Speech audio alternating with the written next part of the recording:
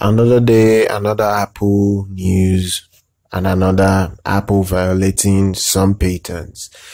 It seems Apple is uh, the the patent fraud king these days because a lot of people are either suing them or having an issue with Apple for some weird reason that's just what it is. So currently they they are ordered to pay 500 million dollars in fine for violating LTE patents.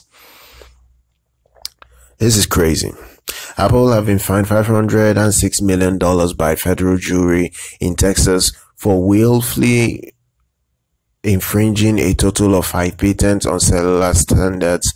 The lawsuit was filed by a group of companies, uh, including PanOptics, Optics Wireless Technologies, over a year ago. It claimed Apple owed them royalties for violating several patents on LTE technology.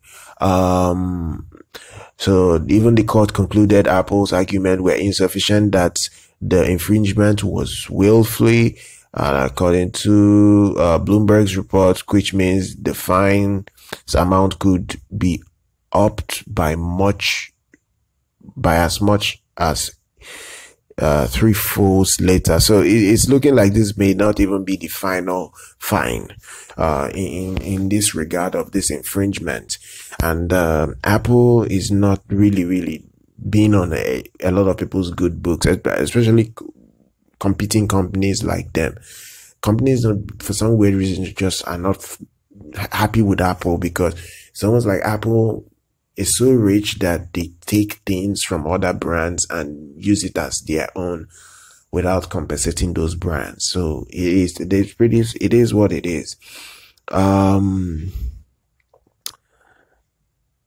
Apple uh, actually told Bloomberg that lawsuits like this by companies with uh sorry by companies who accumulate patents simply to harass the industry only only serves to stifle innovation and harm consumers. Ah typical apple.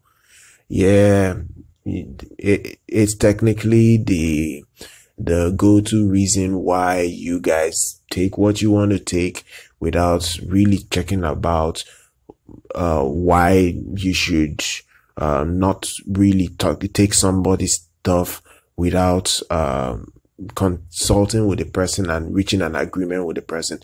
Uh, you give this sort of crappy excuse that it stifles innovation and growth in the industry, but you actually sued a smaller company for using a peer a logo that is way different from the Apple logo and you want them to pay a fine for using or even drop using that logo. You see, Apple is uh, very hypocritical.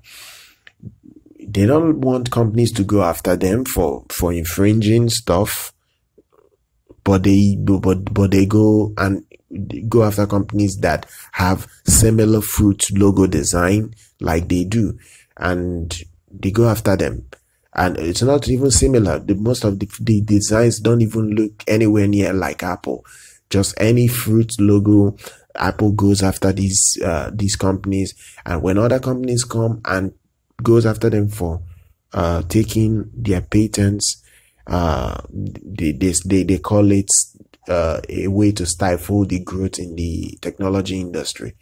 That is a whole of nonsense from from Apple um, Apple is manipulative right now because I'm not an Apple guy. I don't use anything Apple. I do not care about Apple. So this is from me. Apple, I really do not like the way you guys do things.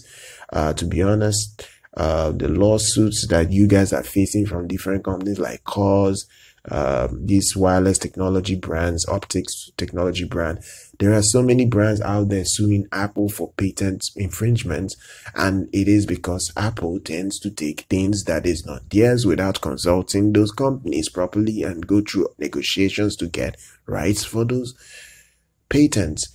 But it is what it is. This is Apple for you. They actually they have the money to pay for this fine, so it's not really a big deal. A five hundred uh, million dollar fine they they they it's is actually chump change compared to what these guys generate. But Apple really is disappointing me to be honest. Uh, to be honest uh, it's it's really a crazy world we live in where a big brand tends to stomp on other little brands and nobody really does anything about that because they are so big.